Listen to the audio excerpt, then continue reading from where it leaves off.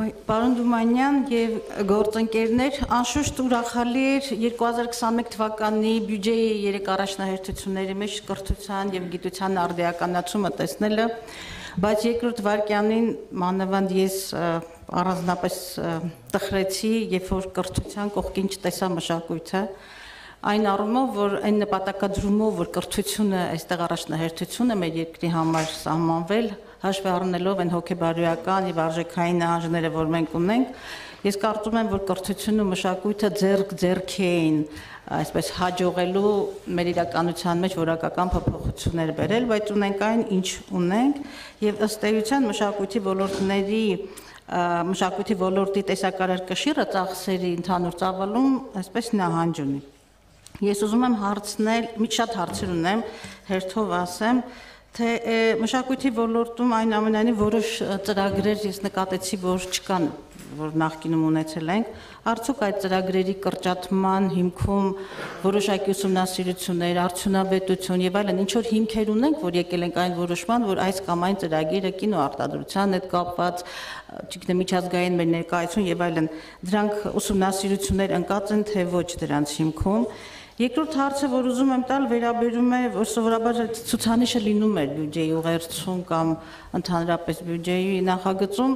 մշակույթի նախարար ԿԳՄՍ ենթակայության տակ գործող մշակութային կազմակերպություններում աշխատողների ընդհանուր թիվը եւ միջին աշխատավարձը, որովհետեւ տարիներ շարունակ, սա ասում եմ այն մտածումով, որ տարիներ շարունակ ցավոք սրտի մենք միշտ մշակույթին այսպես կոպիտ բառ չօգտագործեմ, բայց իրական բառը մնացորդային վերաբերմունքն է եւ հատկապես այդ ոլորտի աշխատողների աշխատավարձը այսպես հերրու է գոհացուցիչ շատ հերրու է գոհացուցիչ լինելուց, ուրեմն ուզում եմ այդ թիվը իմանալ եւ աշխատավարձը քանի հոգի են։ Մյուս հարցը, որ էլի վերաբերում է մշակույթի ոլորտին, մի քանի ծրագրեր, որոնք կրճատվել էին, մի մասի մասին գործընկերս ասեց, ես դրանց թվին կավելացնեմ նաև այսպես հյուրախաղերում եւ միջազգային մշակութային ձեռնարկներում մեր մասնակցության թվի պակասում պակասը փառատոներ լինեն համերգներ եւ այլն եւ այլն տեսա որ դրանց թվերի նահանջ կա եւ այս իրականության մեջ աննկարագրելորեն կարեւորում եմ մեր մշակութային դիվանագիտությունը մենք այդտեղ շատ ասելիք ունենք ինչպես սպորտը դրանք մեզ այսպես անսպար ոգևորության աղբյուր են տալիս ինչպես ամեն մի սպորտսմենի հետ ենք հաջողում նույնպես նաև մեր կատարողական արվեստի եւ փառկաստու մենք այդտեղ ասելիք ունենք եւ ես կարծում եմ այդտեղ պիտի մեր մոտեցումը խմբագրենք Ես ես մի տեսակ չտեսա, միգուցե պակաս նկատեցի, որ մենք նաև մեր տաղանդավոր երիտասարդներում, երիտասարդներին, ստեղծագործող երիտասարդներին կատարողական արվեստներում դրսում փառատոնների մասնակցության հնարավորություն ենք տալիս, որի թիվն էլ է պակասել։ Եվ ուզում եմ մի հարցի մասին էլ խոսել, վերականգնվող, վերականգնվելիք ֆիլմերի քանակը նվազել է նախորդ։ Հայ, ես կարծում եմ ինչ որ մեկը կգրի, վերականգնվող ֆիլմերի վերականգնվող ֆիլմերի քանակը նվազել է։ Ես գիտեմ, որ դա եւս մենք հարուստ կինո ժառանգություն ունենք դեռ խորհրդային շրջանից եւ որոշ ֆիլմերի չվերականգնում, այլևս անվերադարձ չվերականգնում է, ինչու է թիվը պակասել եւ մշակույթի ոլորտին անշուշտ ես իմ առաջարկությունները գրավոր ձեզ կփոխանցեմ, բայց եկեք անցնեմ գիտությանը Եվ ուզում եմ հարցնել, թե գիտության մեջ միգուցե աչքիցս վրիպեց կամ ինչ, բայց կլրացնեք, ես հայագիտություն բառը չհանդիպեցի գիտության մեջ։ Եվ արդյոք գիտական ֆինանս գիտական թեմաների ֆինանսավորման մեջ հետաքրքիր է որքան է նախատեսվում առհասարակ հայագիտությանը եւ գիտության ֆինանսավորման քանի տոկոսն է հայագ բյուջեի, քանի տոկոսն է հատկացված հայագիտական թեմաներին։ Հիմա գամ դեպի կրթություն։ Ուրեմն սեյսմիկ անվտանգության բարելավման շրջանակներում 22-ին նախատեսվում է 7 դպրոցների շինարարական աշխատանքներ, հա, այսպես եմ հասկանում։ Ես հիշում եմ, որ կառավարության ծրագիրը 5 տարում 300-ից 500 դպրոցի 300 դպրոցի 500 մանկապարտեզի նորոգման կամ կառուցման մասին էր խոսում բայց ոնց մտածում եմ ոնց ենք տեղավորվում եթե ամեն տարի այստեղ 7-ը հետո 300-ը 500-ը միգուցե թվային անհասկացողություն կա բայց ուզում եմ հասկանալ այս բաժանում համամասնությունը ոնց ենք 5 տարվա վրա տարածելու Մյուս հարցը վերաբերում է մոդուլային մանկապարտեզներ։ Այստեղ բյուջեում ունենք մոդուլային մանկապարտեզների շենքային ապահովում։ Արդյոք կոնցեպտ մենք ունենք արդեն մշակված եւ այդ կոնցեպտը փորձարկվել է մոդուլային մանկապարտեզների, նաեւ մոդուլային հանրակրթության ոլորտում ունենք հանձնառություն, քանի դպրոցի եւ մանկապարտեզի մասին է եւ այդ կոնցեպտը Եվ Եվրամիության Եվրամիության դրամաշնորային ծրագրով քանի դպրոց է վերանորոգվելու եւ ինչպես են ընտրվում այդ դպրոցները, որովհետեւ այսօրերին մարզերից աննկարագրելի աղետալի դպրոցների պատկերներ են ուղարկում եւ ես կուզենայի տեսնել այդ դպրոցների որ մասն է ներառված, երբ է ներառված, ինչպես է ընտրությունը կատարվում։ Այ օրինակ երեք նկատեցի, որ մի շարք մարզերին ֆինանսական աջակցություններ գնացել, բայց այսպես ըմբոստ Սյունիքը մնացել էր դուրս։ Ես սա ասում եմ բացառելու համար մեր քաղաքական ճաշակները եւ կմահաճությունները։ Եվ և, Կարծեմ այսքանն է, շնորհակալություն։ Ես մի հատ մի մի բան ուղղակի ասեմ,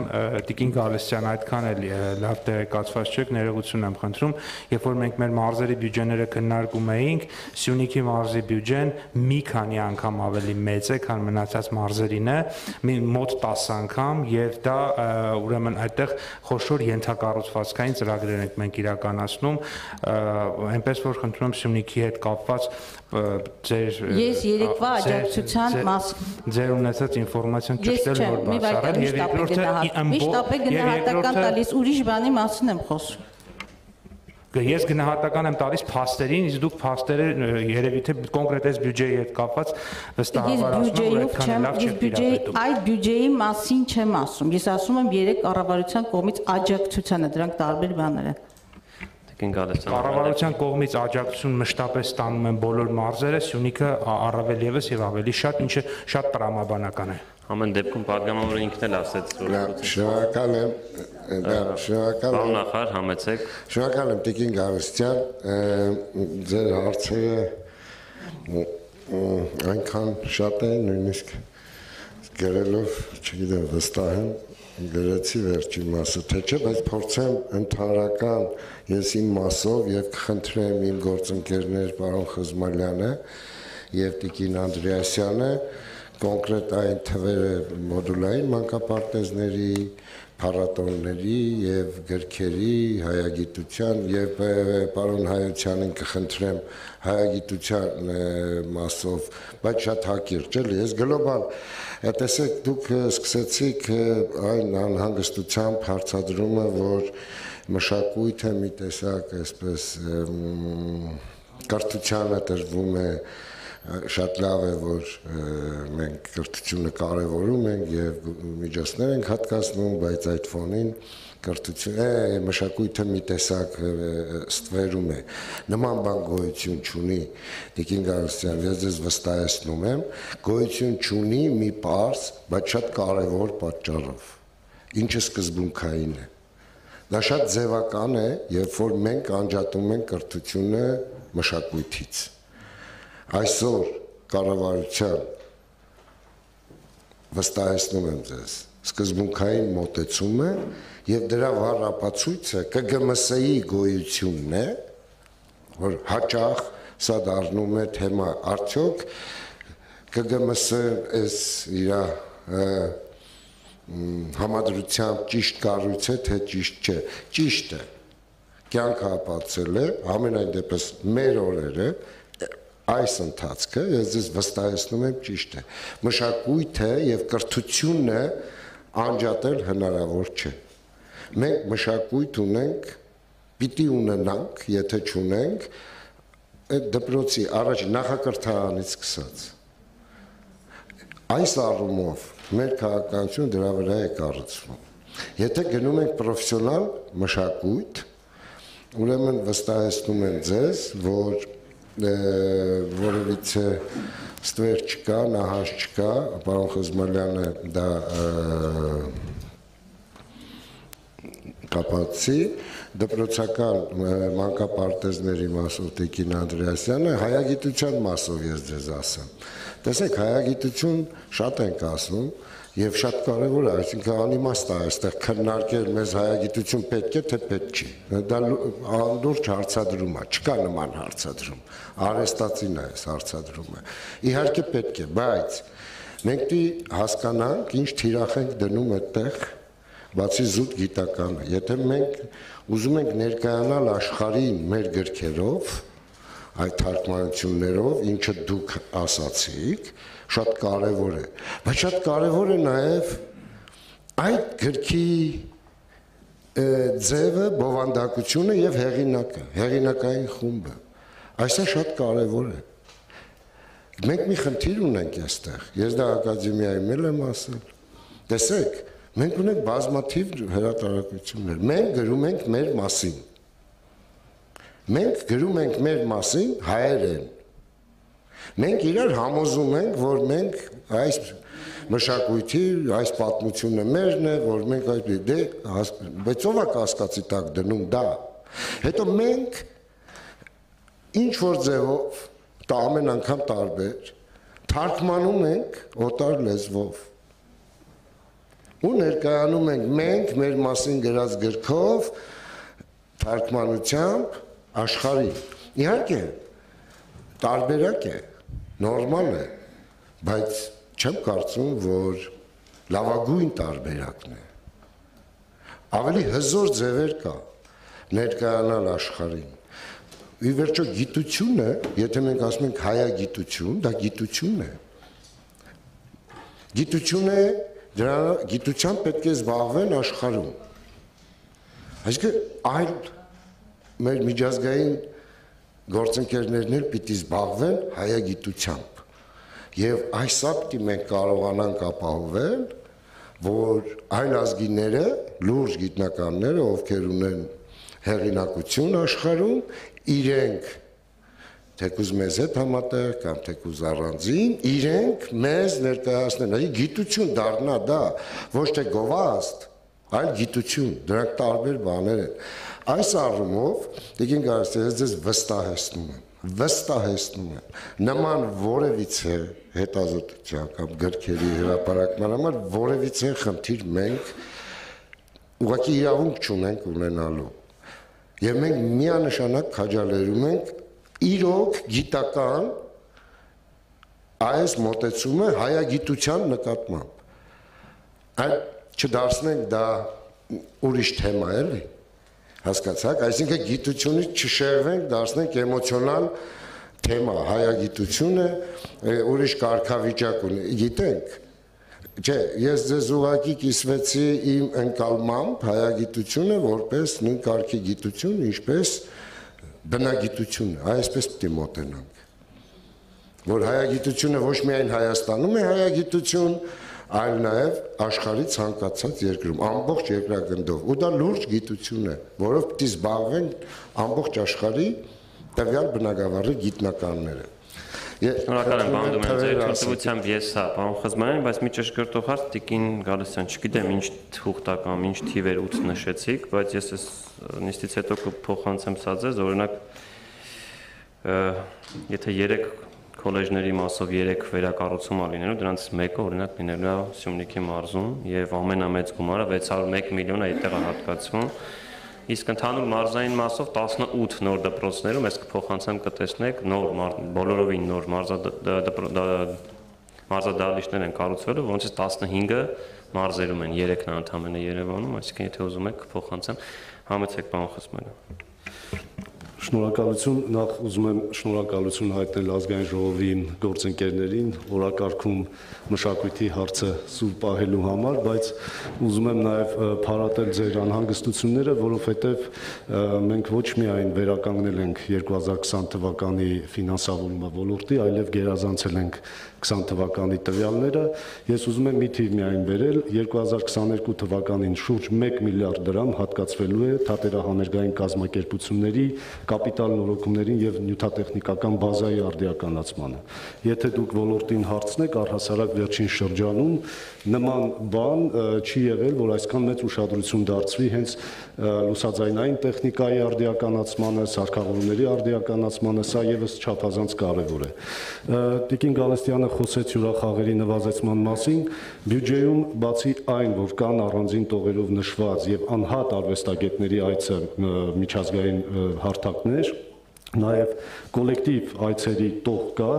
եւ այս ամենից բացի գրեթե 3 անգամ մենք ավելացրել ենք միջազգային նախագծերին հատկացվող միջոցները, իսկ այդ միջազգային նախագծերի շրջանակներում դարձյալ մեր կոլեկտիվները եւ անհատ արվեստագետները հնարավորություն են ունենալու հանդես գալու միջազգային տարբեր ուրեմն հարթակներում։ Ուզում եմ խոսել կինոծրագրերի մասին, բարբերական հանդիպումներ ունեմ ոլորտի ներկայացուցիչների հետ, երկու հարց ունենք։ Մյուս տարի 22 թվականին, ինչպես գիտեք, ձևավորվելու է կինոյի ազգային մարմին։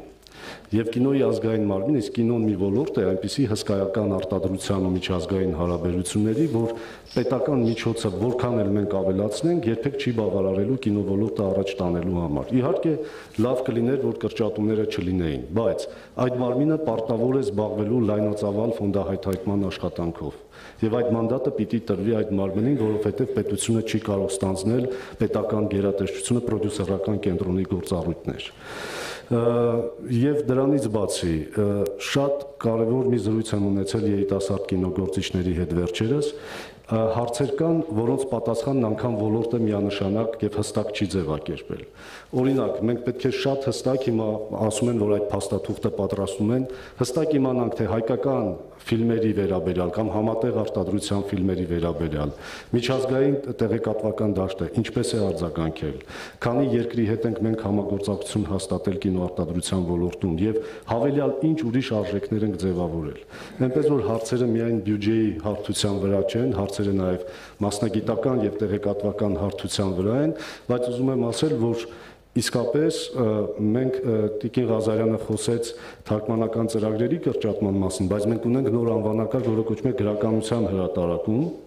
որը մեզ հնարավորություն է տալու միջազգային գրադարանները համալրելու հայ, հայոց պատմությանը, մշակույթին, գեղարվեստական արժեքին վերաբերող գրականությամբ, ինչպես նախարարը նշեց, թարգմանված գրականության։ Երևի այսքանը Շնորհակալ եմ։ Շնորհակալ եմ, պարոն Խազմանյան, Տիկին Անդրեսյան, ձեր մասով էլ հարցեր կար կարծես թե։ Շնորհակալություն, հարգելի գործընկերներ։ Իրոք մանկապարտեզների եւ դպրոցների կառուցման ծրագրերը շատ մեծ տեղ ունեն եւ շեշտադրված են կառավարության ծրագրում եւ միայն պետական բյուջեի, ընդ որում ես կուզեի շեշտել, որ երբ որ մենք խոսում ենք դպրոցների եւ նախադպրոցական հաստատությունների կառուցման, հիմնանորոգման, վերանորոգման աշխատանքների մասին պետք է նախ ամենաառաջինը մի པարս փաստ ընդգծենք, որ ամբողջ աշխատանքների ծավալը չի իրականացվում միայն կրթության, գիտության, մշակույթի եւ սպորտի նախարարության բյուջեում, եւ մենք ունենք նաեւ այլ նախարարությունների եւ նաեւ Երևան քաղաքի ուրեմն հատկացումներում զգալի տոկոս եւ զգալի ծավալ եւ պետք է ուրեմն այդ ընդհանուր թիրախային ցուցանիշը դիտարկենք այս բոլոր աշխատանքները միասին վերցված եւ ուղղակի մի քանի թվեր բերեմ, որոնք կփարատեն ձեր կասկածները Տիկին Գալստյան, ուրեմն սահմանված թիրախները սահմանված ժամկետում իրականացնելու մասով այս պահին միայն աշխատանքներ են իրականացվում կառուցման, հիմնանորոգման, վերանորոգման շուրջ 77 մանկապարտեզներում Ընդ որում այդ աշխատանքները, ինչպես նշեցի, դրանցից օրինակ միայն 15-ը իրականացվում են քաղաքապետարանի ծրագրերով, 32 ծրագրեր ունենք սուբվենցիոն ծրագրերի շրջանակներում, որը գնում է տարածքային կառավարման եւ ենթակառուցվածքների նախարարության բյուջեում եւ բնականաբար նաեւ մեր նախարարության բյուջեով նախատեսված են զգալի ծավալի աշխատանքներ։ Միայն եկող տարվա համար միայն դպրոցների մասով մենք ունենք 56 դպրոցներում աշխատանքներ։ Դրանք, ինչպես նշեցի, թե կառուցման, թե հիմնանորոգման, թե վերանորոգման աշխատանքներ են եւ կարծում եմ, որ այս ծավալները եւ սա դեռևս չի ներառում իր մեջ սեյսմիկ անվտանգության ծրագրով տարածքային կառավարման եւ ենթակառուցվածքների նախարարության բյուջեով իրականացվող ծրագրերը ասիական զարգացման բանկի հետ համատեղ եւ այսին նշած 56 դպրոցների մեջ նշված չեն նաեւ այդ դպրոցները, որի դեպքում քանակը ավելի մեծ է լինում։ Եվ կուզեմ ընդգծել, որ բնականաբար այս բոլոր աշխատանքները պլանավորվում, իրականացվում են հաշվի առնելով մեր վերջնական նպատակակետը եւ կարծում եմ, որ ամբողջությամբ իրականանալի են այս պահի տեմպերը եւ նաեւ նախատեսվող ծավալները հաշվի առնելով։ Ուզում եմ նաեւ հիշեցնել, որ մենք այս ուղղությամբ աշխատանքները շարունակում ենք Եվրոմիության հետ աջակցության ծրագրերի շրջանակներում 2.6 միլիարդ միլիարդ եվրոյի չափով, որի մասին բազմիցս խոսվել է եւ այս շրջանակներում նույնպես աշխատանքները ընթանում են։ Եվ Սյունիքի մասին, քանի որ նշեցիք, ես կուզեի հատուկ շեշտադրել Տիկին Գալստյան, այս տարվա օգոստոսին օգոստոսին ուրեմն մենք ունեցանք վարչապետի որոշում Սյունիքի մարզի Կապան խոշորացված համայնքում կրթական որակյալ ծառայությունների ներդրման մասին եւ ծրագիրն ուղղված էր Կապանի գյուղական համայնքներին որտեղ մենք ամբողջությամբ վերլուծել ենք իրավիճակը տարածքային կառավարման եւ ենթակառուցվածքների նախարարության քաղաքաշինության կոմիտեի մեր գործընկերների հետ, որ เป զի հասկանանք, թե ինչ խնդիրներ ունենք, ինչպես պետք է որակյալ ծառայություն ապահովենք եւ նախադպրոցական եւ հանրակրթության մասով եւ այստեղ ունենք 31 գյուղական բնակավայրեր, որոնց համար կազմվել է այդ որակյալ ծառայությունների քարտեզը, կազմվել է ծրագրի նախահաշիվը, խոսքը շուրջ 9 միլիարդ դրամի մասին է եւ կազմվել է նաեւ ուրեմն խոսում ենք շուրջ 1000 շահառու երեխաների մասին եւ վերցրել ենք կապանը Սյունիքը ի սկզբանե ընտրվել է որպես կարևոր գերակա ուղություն եւ վերցրել ենք կապանը մի քանի առումներով, որովհետեւ ամենաբարդ տեղանքն է եւ եթե մենք այստեղ կարողանում ենք գտնել լավ լուծումներ, ապա դա կարող են լինել նաեւ հիմք մնացած համայնքներում աշխատանքները այդ մեթոդաբանությամբ իրականացնելու եւ բառացիորեն նախորդ շաբաթ եղավ վարչապետի նոր որոշումը, որը արդեն վերաբերում է ամբողջ Սյունիքի մարզին եւ ոչ միայն գյուղական բնակավայրերին, այլ նաեւ քաղաքային բնակավայրերին։ Ծրագրի շրջանակներում նախատեսվում է շենքերի ամբողջական կառուցում, հիմնանորոգում, կախված իրենց վիճակից, որտեղ որ կարելի է պահպանել, պահպանում ենք, որտեղ որ չէ նորն ենք կառուցում Նախատեսվում է ամբողջական համալրում գույքով, սարքավորումներով, լաբորատորիաներով, եւ որ կարեւորն է, ինչպես բազմիցս ընդգծվել է, կրթությունը շենք չի, գույք չի, կրթությունը բովանդակությունն է։ Նախատեսվում է նաեւ ուսուցչական որակյալ համակազմի ապահովում, կրթական ծրագրերի վերանայում եւ ամբողջական համալիր աշխատանք։ Այս աշխատանքները, ինչպես նշեցի, վարչապետի որոշումներով սահմանված են, կապանի մասով արդեն քաղաքաշինության կոմիտեն հայտարարել է նախագծանախահաշվային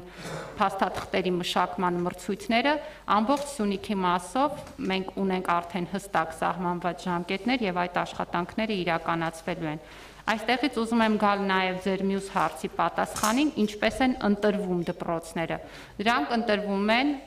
շատ մանրամասն աշխատանքի արդյունքում, ինչպես նշեցի մի քանի անգամ այցեր են իրականացվել համատեղ մեր նախարարության աշխատակիցները քաղաքաշինության կոմիտեի մարզպետանների եւ լինում է համատեղ այց, դիտարկվում են ամենատարբեր հանգամանքները, ինչ վիճակում է գտնվում շենքը, արդյոք համայնքում կա այլ հող, որը կարող է օգտագործվել կառուցման համար, որտեղ մենք շատ հաճախ հանդիպում ենք խնդրի, որ համայնքում տեսնում ենք անհրաժեշտություն, բայց ունենում ենք հողի հատկացման խնդիր, որովհետև գիտեք, հատկապես մոդուլային շենքերի կառուցման համար պահանջվում է բավականին մեծ հողակտորներ եւ որոշակի ռելիեֆ, եւ ոչ միշտ է հնարավոր լինում այս բոլոր պահանջները մի տեղում բավարարել։ Մանկապարտեզների մասով այս պահին մոդուլային մանկապարտեզների շարքում ընտրված են այն համայնքները, որտեղ կա առնվազն 100 պլյուս շահառու երեխաներ եւ որտեղ չկա որևէ նախադպրոցական ծառայություն։ Սա մեր միակ ծրագիրը չի, մենք ունենք բազմաթիվ այլ ծրագրեր, ես նշեցի սուբվենցիոնը, կուզեմ նշել նաև հենց մեր նախարարության բյուջետային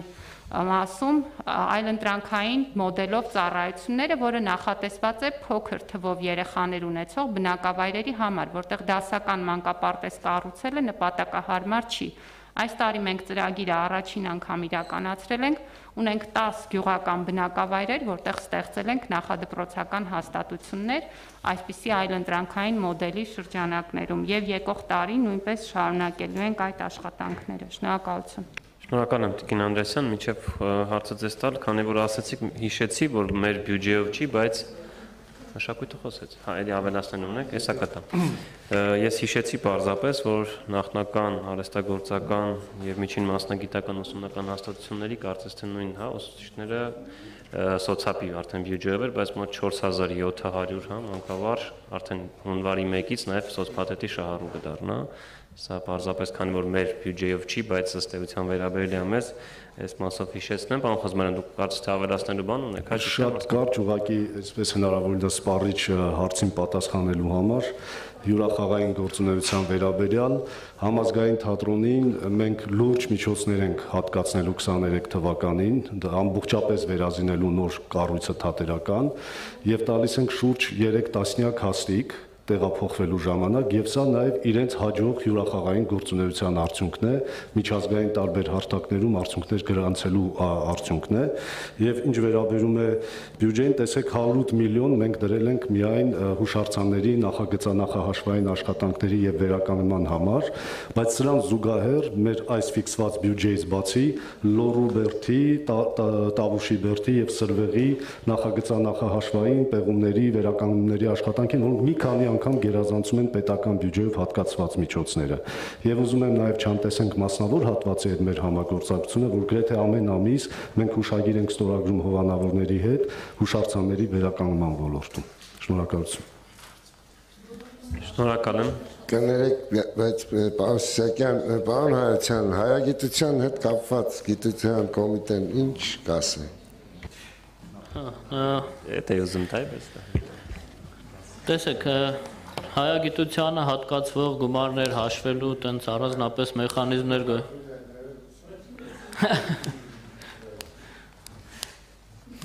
Այդ հայագիտությանը տրվող գումարներ հաշվելու որևէ ինչ որ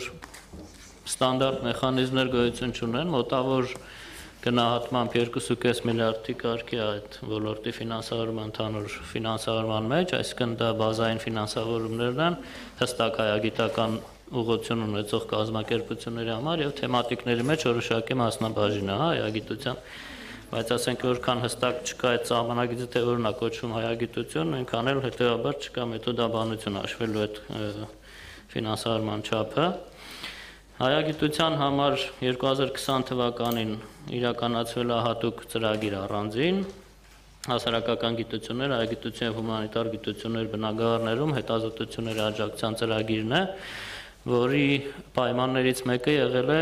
պարտադիր միջազգային գործընկերոջ արկայությունը, այսինքն նպատակը, ինչպես պարոն Դումանյանը նշեց շատ ճիշտ, միջազգայնացումն է հայագիտական ուսումնասիրությունների, որովհետև գիտության ոնց որ գիտությունը գործում է միջազգային դաշտում, հա, գիտությունը ներքին չի լինում, հա, գյուղի գիտություն չի լինում։ Այսինքն այս բանի նպատակով մենք ոնց որ սահմանում ենք անկախ հետազոտության ոլորտից սահմանում ենք միջազգային չափանիշներ ու խթանում ենք միջազգային գործընկերությունը։ Մյուս կողմից կառավարության ծրագրով 2023 թվականից հանձնարարություն կա ավելացնելու հայագիտական բնագավառի ֆինանսավորումը երկու անգամ դա նշանակում մոտարապես 2.5 միլիարդ դրամի միջոցառումների իրականացում, որը ֆիքսված է կառավարության ծրագրի նախագծում առայժմ բայց մինչ այդ մենք պետք է 2022 թվականին հաստատենք հայագիտության, հայագիտական, հայագիտության ոլորտի ռազմավարությունը, այսինքն նախ սահմանենք ինչ ենք հասկանում հայագիտությունից, հայագիտության ոլորտում գիտական հետազոտություններից ինչ ենք ակնկալում, ու ըստ այդմ արդեն կազմենք այդ գործողությունների ծրագիրն ու շարժվենք դրանով առաջ, հա ու էլի ուզում եմ նշեմ ոլորտի միջազգայնացումը ռազմավարական առաջնահերթություններից է, հա, այսինքն տեղում մենք մեր համար գրելով, հետազոտելով, մենք մեր խնդիրները, մենք մեր ժուրնալներում գրելով, մենք մեզ գրախոսելով առաջ չենք գնա հաստատ, հա էսա, այսինքն գիտությունը անպատասխան ուշադրության ոնց որ բանա ֆոկուսի մեջ է, հա Շնորհակալ եմ պարոն Հայության։ Պարոն Գաբրիելյան մի քիչ լիսկաթափեմ էլի մտնոլորտը։ Ես ներողություն եմ խնդրում ձեր ազգանունը խառնելու համար, բայց ուզում եմ ասել, որ այսօր առավոտվանից նման process կա, մենք աշխատանքային քննարկման ժամանակ նախարարությունում այսօր ինչ որ թեմա ենք բուրըն քննարկում համակարգ, մեր համակարգ, այնքան համակարգ բառը օգտագործեցինք, որ մեր գործընկերներից մեկը մյուսն ասեց, «Պարոն համակարգ», բան, ասենց շո լարված խոսակցություն է։ Էլի լավ եմ փրկել։ Ասենք աուդիտորական, այնպես որ պարոն Գաբրիելյան Եկին Գալստյան ուզում եք արձագանքել։ Լավ, որպես միակ ընդդիմություն ես դալիճում արձագանք։ Այդ out of recorder։ Լավ, ես չեմ ասում, որ լիցքաթափենք, որովհետև ես չեմ կարծում, որ ես լրացուցիչ բացասական լիցքերի Չէ, դուք պիտի լիցքավոր եք, մենք պիտի Այո, այո, միայն այդպես, որովհետև նրանք ովքեր ինչ ճանաչում են, գիտեն, որ 11-ն շարունակ մշակույթը իմ սևեռումի այսպես դաշտում է եւ նույնիսկ այդտեղ դժվար է քաղաքականություն քաղաքային առաջնահերթ քաղաքական առաջնահերթություններ դնել, բայց ինձ մի փոքր մխիթարից հայությանի վերջին անկեղծությունը խոսելու այն մասին ռազմավարության բացակայության մասին, այո, որտեվ անհարմար է մենք հիմա նստենք բյուջեի քննարկման ժամանակ որոշենք հայագիտությունը սա է, նժարենք ֆիզիկայի հետ եւ այլ եւ այլն։ Եվ ես ուզում եմ նորից գնալ ամենակարևոր մի հարցին, որի մասին շատ եմ խոսել, վստահ եմ դուք էլի դուք լսել եք, այդ մշակույթի ոլորտի եւ նաեւ ինչու՞ չէ կրթության մեջ ռազմավարության, ռազմավարական նպատակադրումների սահմանման անհրաժեշտությունը։ Երբ որ մենք ունենանք այդ սահմանումները, ինչը վերաբերում է մշակույթի ամբողջ ոլորտին, կրթությանը եւ այլն, չունենք ըստ էության, որը նաեւ օրենքի պահանջ է, այդ դեպքում մեր որոշումները ըստ էության չեն լինի այդքան կամայական, երբեմն անձնական ճաշակով պայմանավորված կամ մեր անձնական հայացքների կամ մեր հայացքով պայմանավորված։ Ես ելի եմ մնում այն տեսակետին, որ մեզ հատկապես մշակույթի մեջ իսկապես ռազմավարական նպատակադրումների սահմանում անհրաժեշտություն է եւ այդ параգայում կիմանանք կճշտենք Հայաստանի համար որուն այսքան ռեսուրսներ, այսքան բնակչություն, մշակութային որ ոլորտի վրա պետք է շեշտադրում անենք, կինոյի ոլորտի, չգիտեմ, ինչն է անհրաժեշտ, կատարողական արվեստներում որը, բայց քան որ մենք չունենք այդ ռազմավարական պլանավորումը, ըստ էության շատ հաճախ, շատ հաճախ մեր պլանավորումը նաև վերահսկելիությունից է դուրս մնում եւ նաև առաջնահերթությունների սահմանումից։ Սա ըստ էության ոչ այնքան բյուջեի ֆինանսական թվերի հետ էր կապված, որքան հայցակարգային խնդիր էր, որի մասին ես էլ եմ խոսել եւ կխոսեմ, քանի դեռ մենք չենք ճշտել մեր ռազմավարական նպատակադրումները։ Շնորհակալ եմ։ Ուզում եք արձագանքել։ այո, վերջին այս ձեր հարցադրումը շատ փիլիսոփական բովանդակություն ուներ։ Երբ որ դուք հա ուրեմն կա հավատ, կա գիտություն, արանքում փիլիսոփայություն։ Հիմա մենք ունենք հավատում ենք մեր գործողությունների ճշմարտությանը, կա օբյեկտիվ իրականություն հիմա մենք ասում ենք ունենանք տեսեք ինչ եք էլի ասում ասում եք այ որ ունենանք ռազմավարություն ամեն ինչ པարս կլինի արդյոք արդյոք պետքա սահմանենք պետքա հասկանանք էլի ինչ բովանդակություն պիտի դնենք այդ այդ բառը ռազմավարություն բառը շատ հնչեղ եւ հետաքրքիր բառ է եւ հաճախ օգտագործվող հաճախ արդյոք արդյոք ցանկացած ոլորտում պետք է կամ հնարավոր է ունենալ ռազմավարություն ես մշակույթի նկատի չունեմ օրինակ երիտասարդությունը կամ մեկ այլ Հեսա տենց ակնհայտ հարց չի, որը միանգամից պետք է ասել այո կամ ոչ։ Եվ այո կարող եք Հա, կփիլիսոփային, ես ձեզ հրավիրում եմ բանով քննարկենք մահանգամանորեն։ Միայն շնորհակալ Միայն շնորհակալ կլինենք ձեր աջակցության համար, իշա մեր բոլորիս մշակույթի, մեր ազգային մշակույթի։ Շնորհակալ ենք, պարոն նախարար։ Համեցեք Տիկին Գրիգորյան։